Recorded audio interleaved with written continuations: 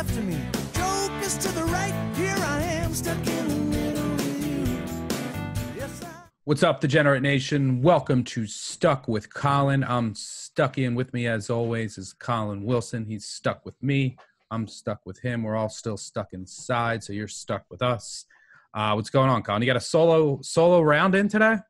Solo round of golf but there are i mean there's just a new rule. There's there's new etiquette. There's new there was foam in the bottom of the cup. Uh, you can't touch the flag stick. Um, every I, i'm going to say this right now. Do you know one business that's not hurting these days? Golf courses. Slammed pack uh, pace of play frenetic. Uh, we're talking everybody is out there golfing and on a conference call at the same time. I couldn't drive within 15 feet of anybody and heard, yeah, yeah, ship that, yeah, yeah, book that. Like there was so much business being conducted while everybody stayed so far away from each other. And I mean, it was it was amazing to see. Like everybody's on spring break, even adults are on spring break, and and and the the golf course was slammed. It was I I shouldn't be surprised. Well, if you're a college age kid, don't go on spring break uh, if you can.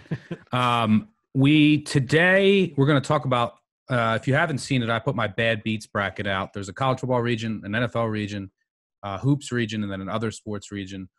We'll go through one a day, and then we'll talk about our final four. We still have the ultimate college football best team ever bracket to get to. I saw you mentioning the two best teams ever in your eyes. I said, Yeah. "LOL, Miami." So we'll get to that. Um, but today we're going to spend time going through the college football region, which is going to be fun. Um, we'll also mention a couple other games that didn't make it. Um, but before that, um, you know, you went golfing. It's important to get outside, even just walk around. And like I said last Yeah. week's show, if you need someone to talk to, reach out to people, see if they're doing okay. If you need someone to talk to, don't be shy about reaching out. And if you need someone, I'm I'm there to talk. Um, some some news. Uh, Washington legalized sports betting, and it's amazing the power. It's kind of the, that tribal casinos have. Only in tribal casinos, no mobile. You can't bet on Washington teams. I mean, why Mhm. even do it? And it's sad because of how hard Washington's been hit by the coronavirus. Not only, you know, all the the deaths and sickness, but the, their economy has suffered as a result. The tax revenue that you could have gotten from legalizing sports betting the right way would have been such a huge bump um, for Washington State. I fear that the same thing, and it's yeah, like I said, it's sort of karmic justice with the, the how much power the tribal casinos have, but feel bad for the people of Washington. I think the same thing's going to happen with Florida and the amount of power that the tribal casinos wield there. Um, but I was disappointed to see that, but not surprised.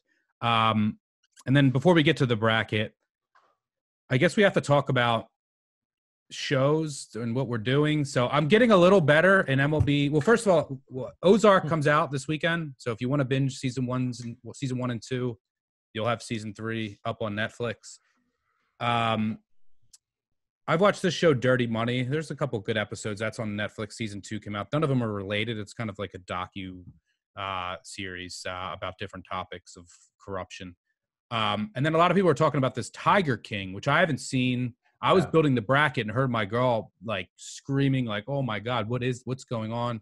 Ha- have you seen that? And what else are uh, have you been watching and or playing?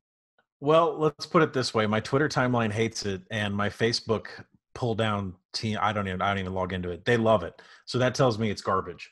So when my Facebook likes something and my Twitter hates it, that means that it's garbage. And then flip it for the opposite. When Twitter likes it, it's usually pretty good. Uh, so I haven't watched it. It's on the list. Uh, you know, I need to. I, I was deep diving into our studio and making some pretty graphs and college football stuff. Some some good stuff that we can use for content later in the year. So I really took a break from TV for the last two days, but it, it's on the list.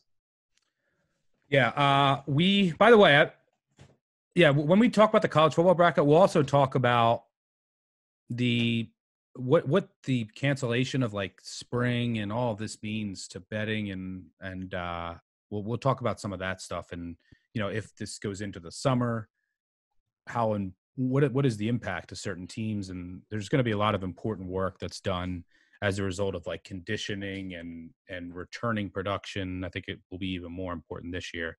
But Mhm. that's secondary. Let's just get through this first. And if you if you don't have enough reason to take this serious now, if you're young, if you don't take it serious now, we won't have fucking football. Um, Yeah. So that's that's all I'll say there. I think that's pretty self-explanatory. Uh, if, Yeah, if- I don't. I don't. uh, if, I, if putting other people's lives in danger doesn't do it for you, not football. Hopefully I- that maybe speaks to you. I, I don't do political Twitter and I don't get you know get into politics at all. But sometimes I just want to do an all caps tweet that says "Stay the fuck home" because you're gonna mess up our football season. And I mean, I know March Madness is great and NBA is great and MLB is great, but the the revenue, the money, everything associated with NFL and college football, we all need it badly. I mean, businesses need it. The sporting fan, the fans need it. The betters need it. We all need football. So please lock yourself down. Let's get over this. Let's let's find our curve. Yep. Yeah. And then uh, MLB the show, I'm up to like I I love I haven't played a video game like 10 years, as I said. I love this dynamic difficulty thing Yeah. where it like it gets harder as you get down, better. So I'm up to like veteran plus. Um I got up to all-star plus in pitching and I got lit up for like 18 Yes. runs and dropped all the way down. Uh and I was a fucking rude awakening. Um so, but I saw, but it's the computer. Is that a good gauge for if I can play, if I'm ready to play someone now? I don't, I don't know. Um, but I'm gonna have to play you soon. After we get off this, you're gonna tell me how to do it. I don't know how to go online or find my username or what. I'm an old man when it It's pretty to easy to find your username on the PlayStation Network. Let me just dangle that out there for everybody because it's the same as your Twitter. I found you and sent an invite, but yeah, Oh, you I, I don't think you know. Yeah, I don't think you know how that works yet. So I don't. Um, yeah, but uh, right, no, you're yeah, I right think- though. I think the next step, the, one of the next two episodes, um, I'll be ready to accept. The next couple days, I'll accept some. Uh, I'll accept some invites and play some games from from. Oh, I'll obviously play you a bunch, but uh, some random Yeah. people as well. And uh, you guys can beat my ass, and I'll for a little bit of money, and I can You, you need to you'll need to practice a ton on your base running skills. So I play online against other people, probably a 13 year old that whipped me this morning, but Wait, can I do like know- auto base running on when I play someone or no?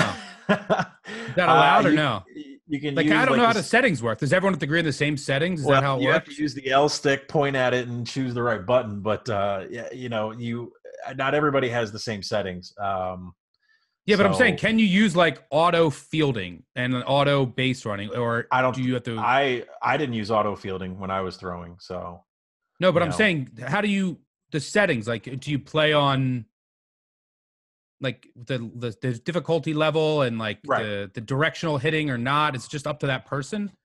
right. Or do you I think to it is. a- yeah, yeah. I no, I I think it's up to your own settings because I haven't changed mine. Let's put it that way. It hasn't made me change the way that I throw to first base. Like that whole, you know, it's tough. Like when you field a ball, an infield ground ball. Not only do you have to pick the right base, but sometimes the R two comes up and you got to put the R two centered on the first baseman and then let it fly, and that doesn't come up when I play online.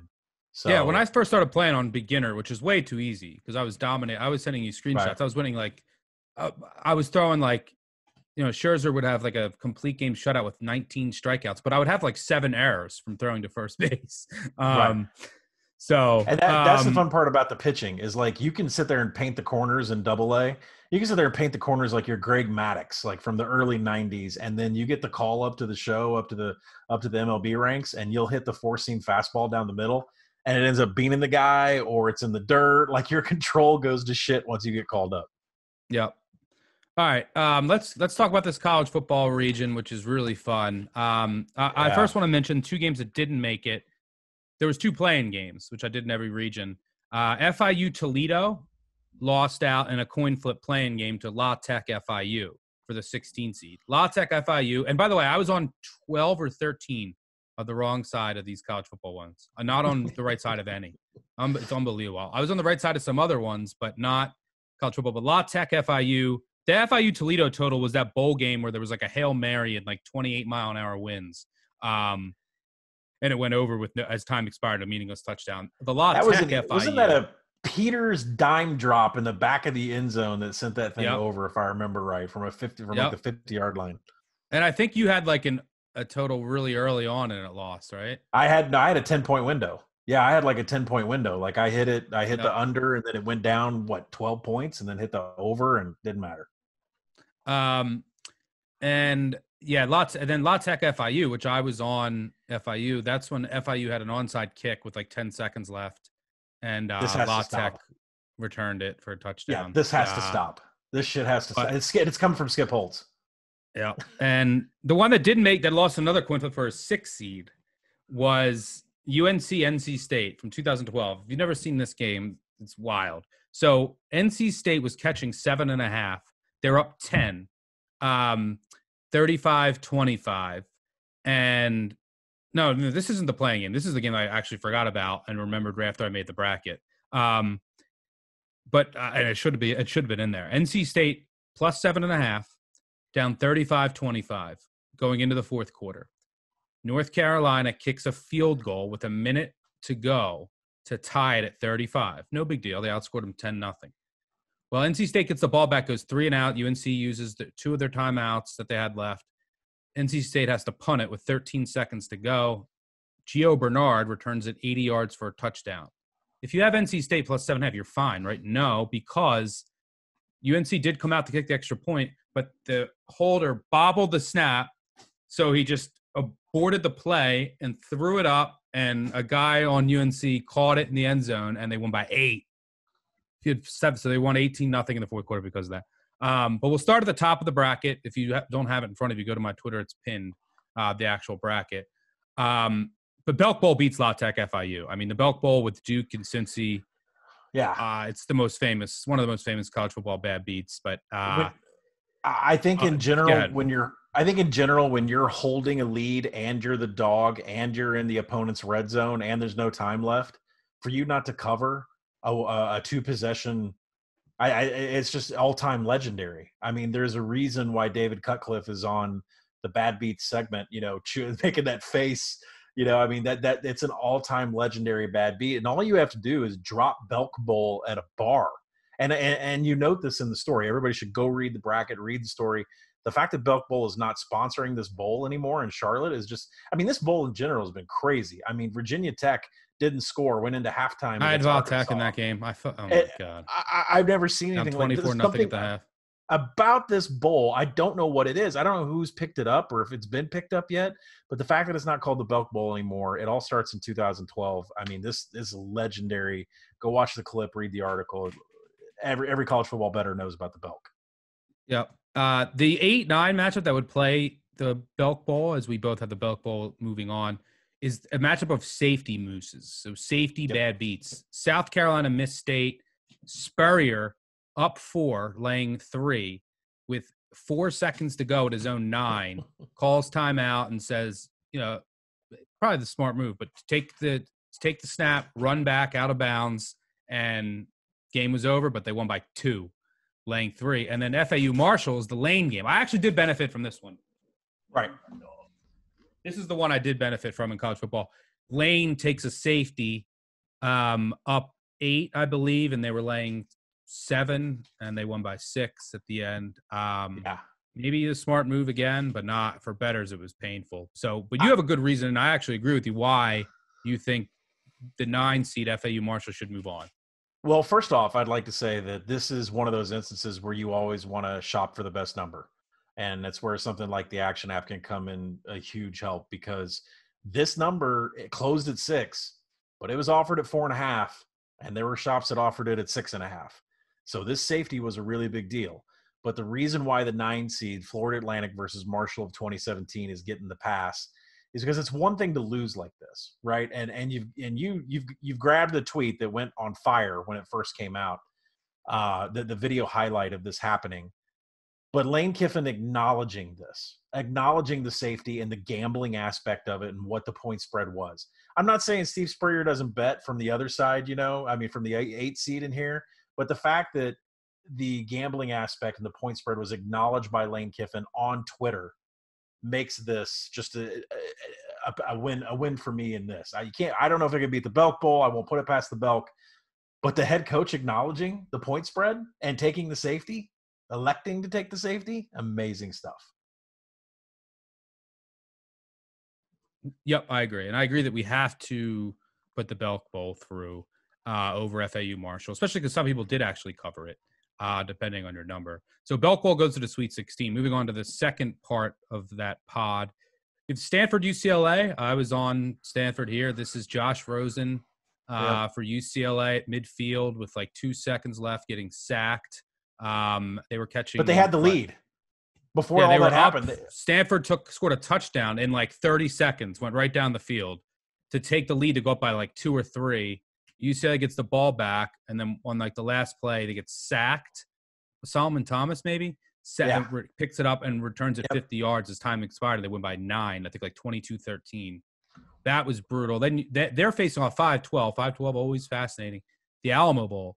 This is double sorted. So I had uh t- I had Oregon in this game who was up 31 nothing. Um they were up this is Alamo Bowl 2016 I believe. Mhm. Um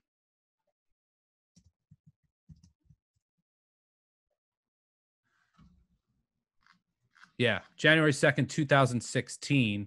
Um, I had Oregon. They were up 31 nothing at the half, going bonkers. Bonkers. Rolling. You had the under like 73. Team's Yep. up 31 nothing. It gets 31 points. So it's not like, hey, 73 is a lock, except if you're up 31 nothing. Like in a blowout 31 nothing, the under is golden. Nope. TCU wins the second half 31 nothing. Oregon, by the way, in this game was minus one, I think, and I had them. Game ends up Yep. going into uh, triple overtime, um, and uh, TCU wins 47 41. Uh, just vicious. So picking that 5 12 is is very difficult. What do you got there?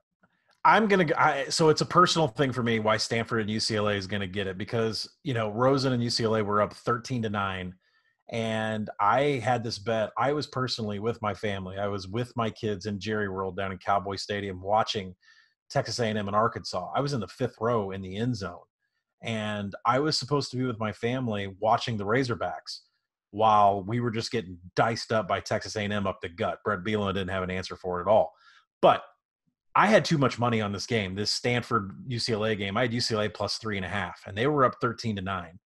And in under two minutes, had blown everything. And that strip six of Rosen, I, I, mean, the exact thing was I had my phone right here. I was streaming it with the Razorback game on Cow, in Cowboy Stadium in front of me. I remember holding down the button, asked, being asked to turn the iPhone off, swiped the iPhone off, and just dropped it and then I didn't touch the phone for 30 minutes. I didn't touch it. I didn't speak. I didn't speak for 24 hours. I wanted to quit gambling. And I think that's the power of some of these beats, some of these bad beats. If you're going to advance teams in this bracket, I think it needs to have a like a, such an impact on you that you say that was such a bad beat. I don't want to gamble ever again. Like I, I just can't. I don't have the stomach for it. This hurts too much. I can't talk about it. You wake up the next day and you're still hurting. It's in your nightmares.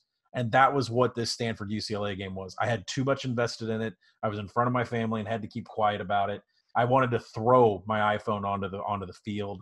Um, it, personally, it was one of the worst beats. I mean, as a five seed, I understand why it's a five seed. Some major heavy hitters in this in this college football bracket, but for me, it's going to be Stanford UCLA moving on. Yep, I agree with you. The the kicker here is that Stanford only had six points um the the first three quarters and they couldn't do anything and ryan burns their quarterback had like Ah, he went he went he went down the field in, in like a minute literally a minute to score a touchdown and he threw for like 70 yards on the drive before that drive he had 60 total yards passing and looked awful and Arcega Whiteside caught like a jump ball a couple there was a couple jump balls that was just brutal um so i agree I kept saying it's dead. torture but I um, thought I thought when Rosen lost, I was like, "It's dead. The ball's dead. It's it's dead." Like, I, no, I, I, if you look at the video, like I think all of UCLA doesn't even know there's a live ball on the ground. Yeah, just absolutely brutal. Um, yeah, and Stanford fumbled it. Um, like they fumbled a punt, and like so. You, yeah, there was a. Let me see.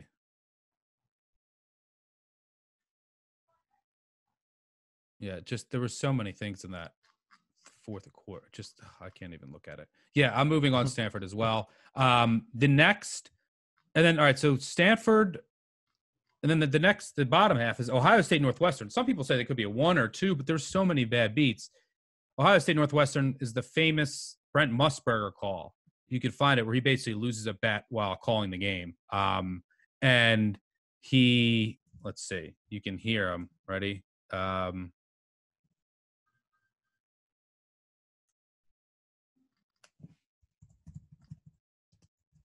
let's see if I can find this clip. Here we go.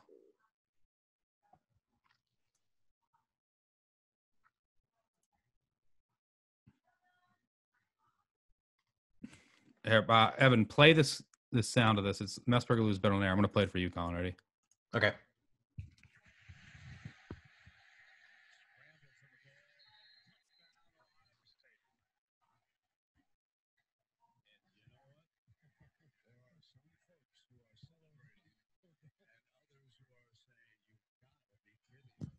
So that's that's Musburger losing a bet live on air. I lost that too. Basically, Northwestern what catching what I think seven or something, and they there was no time left. They had the ball, third and eighteen. There was one second left. They snap it. It goes back in the end zone, and you know the whole thing. And then Ohio, they almost recovered in the end zone, which would have been fine, but it slipped out. And then Ohio State recovers it with no time left for a touchdown. They went forty to thirty. Uh, that These- was brutal. These end zone Um, and- recoveries, these end zone recoveries are so terrible. Yeah, I, I, and I also had the 13 seed Stanford USC, which back in 2011, I believe it was Halloween. I remember I was like dressed up somewhere at a party, but I left it to Mhm. go watch. I went and found a TV to watch this game and went to triple overtime. I'm I have USC plus seven and a half, and Stanford. It goes to triple overtime. Stanford scores a touchdown. They get the ball first in triple overtime and gets the two, so they go up eight. Yep. And then USC gets the ball and they go down to the one yard line and they hand it off and he fumbles it into the end zone and Stanford recovers it. uh, but I got to go Ohio State Northwestern. That was, I mean, it's it's just the college in the college football world. That's one of the most famous bad beats, and the, there's just so many bad ones at fours. It's crazy. I, I feel Stanford USC is a horrible beat, but I got to advance Ohio State Northwestern. What do you got? I agree with you completely, and this is a good time for us to mention that I don't remember when overtime rules went into effect. That in the third overtime that you have to go for two, but we should go ahead and mention that we have new overtime rules where in the fifth overtime it's only two point conversions and only counts as two points. But last year, all of 2019, that went into effect. We didn't have one point spread affected, but it's coming. You and I both know someone's going to have a bad beat based upon a five overtime two point conversion that only counts as two points no more six point uh, touchdowns. So yeah, definitely moving on Ohio State uh, Northwestern uh, over the Stanford USC with the, with the eight points there in overtime. Uh, but uh, I'm looking forward to our first five overtime bad beat two point conversion. I'll be on it. I'll be on the wrong side of it. Don't worry. Um, then Ohio State Northwestern versus Stanford UCLA. I mean, those are very similar. Um, I'm Yeah. gonna I'm gonna have an upset because of the way Stanford, you know, took the lead late. Their offense was anemic, and then it was a longer return. Um, I know Ohio State Northwestern is as bad as it gets. I was on Northwestern. It was Right. so bad, but I was also on Stanford. Uh, I'm having the five move on, but it still can't compete with the Belk Bowl. So I have the Belk going to the Elite Eight. How do you have the region playing out? I, I also I'm going to agree with you that we're going to move on UCLA and Stanford, and the reason is because this is the same standard that I have for the Belk Bowl. You have a dog with a lead extremely late, and not only did they not win, they didn't cover. So I mean that that for me alone, I think what makes Ohio State Northwestern so famous, and it is famous, and it's it's worth all of its credit, is the Musburger call. I mean, let, us be honest. I mean, it, it is a bad beat. It, it deserves to be a four seed. It is legendary, but the Musburger call, I think, elevated it up there. But from an actual technical standpoint, the Belk Bowl and then our five seed here are two teams that uh, you know had the lead uh, very late, and not only just didn't win, they didn't cover as dogs. So yeah, I'm going to move them forward, but I'm going to go with the Belk Bowl to win the top half of the bracket. Yeah. Um, now again, this isn't this is personal. Just like the fast food, it's like what impacts you, what what hurt you the most. So um, there's no right, Right. or wrong answer. Um, th- going to the bottom half of the bracket, there's two Auburn games. Auburn Ole Miss versus this is six eleven versus the Prayer Jordan Hare. Auburn Ole Miss Ole Miss was minus one. They were going. They were down four. They were going in to score. They were going to uh, presumably win the game. And Treadwell at the one yard line looks like he's just going to go in for an easy touchdown. Gets grabbed from the back, breaks his leg at like the one inch yard line, so he drops the ball. Auburn picks it up in the end zone and then seals the win. Um, versus, and I was on that one. I was also on Georgia against Auburn. Uh, Auburn, this is the prayer Jordan Hare. Auburn was Georgia was catching three, and or three, three and a half. They were up by like two, and it was fourth and 18 with 30 seconds to go for Auburn, and they had a quarterback who couldn't complete a forward pass, so he just chucked it up in the air, and it was obviously like the worst throw you ever seen, but it hits off of like a helmet and bounces up right into the guy's hands, and he goes all the way. Um, eh, that was awful. I had the 11 beating the six. I was on both of them, both on the wrong side of uh, betting against Auburn. But prayer Jordan Hare, uh, I think beats the six here. You? Yeah, prayer Jordan Hare. I've never seen a play like that in my entire life. It was. It, it's one of those moments that left me completely speechless. The fact that it, it, it turned tickets around, you know, instantly with that play uh, is amazing. And then from a personal level, like Gus Malzahn called that play, he dubbed it Little Rock. Uh, he stated that it is something that he drew up in 1998 while coaching at Shiloh Christian School in uh, Springdale, Arkansas. Uh, something that he drew up in the state playoffs. So this one hits like really close to home. The play involved uh, has some ties back to my home, back to my home area. So uh, I'm definitely going to put in uh, the Jordan Hare, but I, I still that that game was an all timer. And Auburn, Auburn and Stanford, just as a side note, they show up way too much, way too much. It's deserved, but man, Auburn and Stanford, luck box shit all over this bracket. Yep. Um, all right. Now moving on to who they will face. You had the Bahamas Bowl in 2014. Also, this is Western Michigan, Western Kentucky, Central Michigan. Western Kentucky was minus two and a half. They were up 49 14 in the middle of the third quarter. 49 14, you're up 35, laying two and a half. Central Michigan then comes all the way back and scores. They, so you outscored them 34 nothing in the fourth quarter. They're up 49 14 in the fourth quarter. Central Michigan scored 34 points in the fourth quarter, including one of the most ridiculous touchdowns you ever see as time expired. And I think Western Kentucky opened at two and a half. They closed at three and a half. But then you're like, all right, if you have Western Kentucky, you're shocked, stunned. And um, you can say, all right, now we're going to go to overtime. Nope. Central Michigan goes up, lines up for two, as they probably should have in a bowl. And you know that you have no way to win now, um, unless there was like an offensive penalty and they have to try and kick it or something. I don't know. But uh, yeah, then they only won by one. So on top of all that, what makes that even more sour is that the team that lost you money, if you bet on Western Kentucky, then won the game outright by one after giving up 34 unanswered. Just you, you want them to lose at that point, and then they stop them on the two point conversion. They take on Maryland NC State. This is a game, talk about blown lead. This is a blown lead matchup. NC State, at Maryland was catching 12. They led 45 14 in the third, midway through the third quarter. 45 14, they're up by 31. They're catching 12. NC State comes all the way back, ties it at 45. Fine. It's there's a couple minutes left in the fourth quarter. You're still catching 12. NC State then scores a touchdown. They go up 52 45. There's like 30 seconds left. Guess what? Maryland throws a pick six. NC State wins by 14. Um, they scored 45 unanswered points. So uh, I think the pain of it being a bowl, the daytime, a lot more people bet on it. You got to move on the Bahamas Bowl, but Maryland NC State was brutal. Um, and then, look, uh, the prayer Jordan Hare was so improbable that throw, um, but I still have to put the Bahamas Bowl through to the Sweet 16. What do you got on that Bahamas Bowl, Maryland, NC State, and who are you putting through the Sweet 16? Uh, The Bahamas Bowl is going to win this one because the deficit was bigger. The 49-14 lead was bigger than the uh, than the Maryland NC State, the 27 point halftime lead, second half uh, lead. So Yeah, it was 49 14 versus 45 14. Yep. But, and it's Yeah, more so- marquee. It's a bowl game. I think Yeah, it was a and I mean- kick. Uh, Yeah, you had Jeff Brohm for Western Kentucky, and you got a MAC team in there with Central Michigan. So, uh, you know, that's just one of that's like God. I miss betting, so I like I miss betting. I miss sports so much. Just to be gifted a Western Kentucky Central Michigan game like during the day in Christmas season uh, is just is just gold mine. Um, but yeah, Jordan Hare is going to advance on for me over that. Yeah, you're right. I'm thinking about my own pain too. I'm going to have the 11 moving on. Um, in the bottom half, you have the 7 10, two more Stanford games Stanford, Northwestern. We've, this was last year. We've seen this before. Northwestern, Stanford. a, a fumble last play of the game. You actually had Stanford. I had Northwestern. I did. Blah, blah, blah. We've seen Stanford do that. Then Oregon, Stanford, the 10 seed. I'm going to have that moving on. The amount of things that had to happen.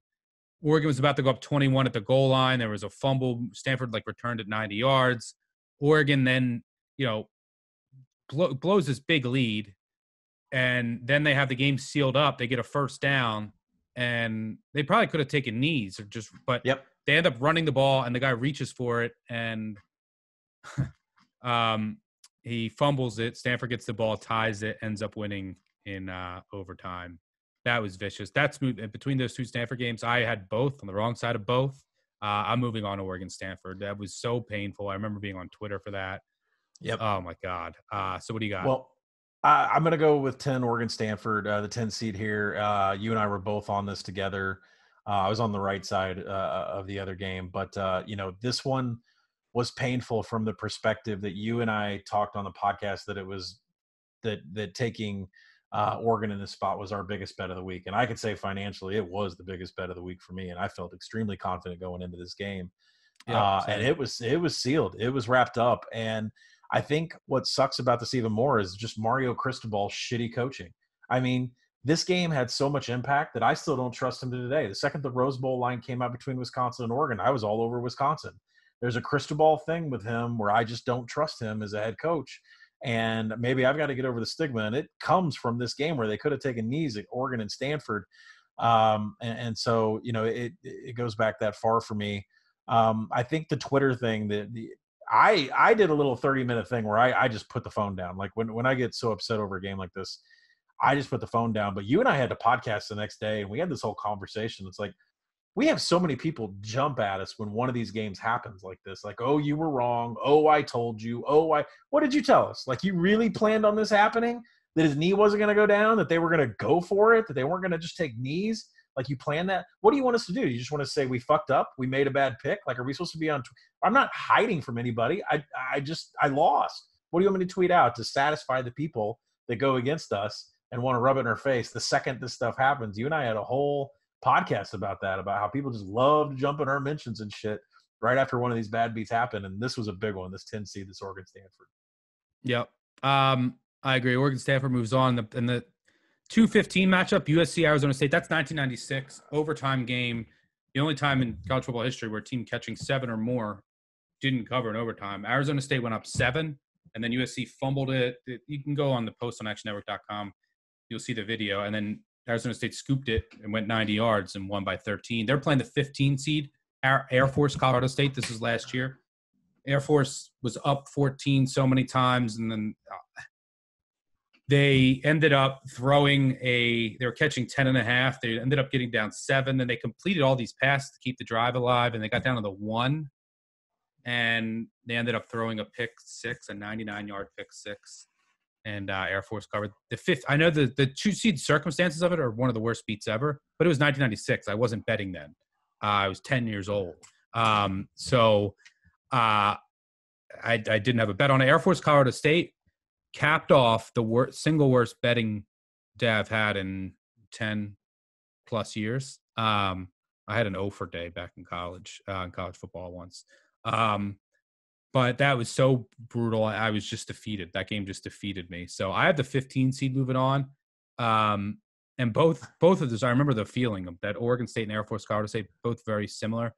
But I had a lot more on Oregon Stanford, and it was a it was just I was a lot more confident in it, and it was a it was just a it was such a gut punch. Whereas the other one, Air Force Colorado State, even though it was one of my worst days ever, at that point I was it was a gut punch, but I was just laughing, like of course, like the, just hysterically evil laughing. So I have Oregon, Stanford moving on, and then I have Oregon, Stanford beating Prayer at Jordan Hare and then I have Oregon State, Oregon Stanford against Belk Bowl, and then I have Belk Bowl. I can't dethrone the Belk going to the Final Four out of the college football. So, how do you see that bottom playing out, and then who do you have going to the Final Four? What's not mentioned in the notes and what's not mentioned in the video clip of the 15 seed Air Force and Colorado State is that Air Force was covering this game most of the game and specifically really late in the fourth quarter on their own 22. Troy Calhoun decided to go for it on fourth down. It's like fourth and 10. It's like fourth and eight. I have to go look it up. But there's no reason he should have been going for it on fourth down on his own 22 with a lead big enough to cover the spread and he didn't punt it. He went for it. Yep, yep. It is immediately put Colorado State in, in the in the green zone, in the red zone. What are you doing? Like, do you have money on the other side? I can't technically ask that question. But why are you not punting on fourth and whatever on your own 22 with this huge of a lead? All right. So on principle alone, the two seed has to go through. But I'm completely in agreement with you. Oregon, Stanford, our big loss for 2018. That's going to move on over the prayer of Jordan Hare, and the Belk Bowl reigns supreme. We're going to take chalk in this bracket. Belk Bowl is my pick. Now, I'm I love college football more than all the other regions. I love MLB and I love NFL, and I don't watch a lot of NBA. But I'm confident in my sweet spot of college football of taking the Belk Bowl into the Final Four and doing some damage against the other sports. I'm with you. Um, all right. So um, thanks for listening, everyone. Hang in there, and uh, we'll be back tomorrow. We'll talk about another region, and um, stay safe and stay sane. And we'll catch y'all later. Cheers. Peace out.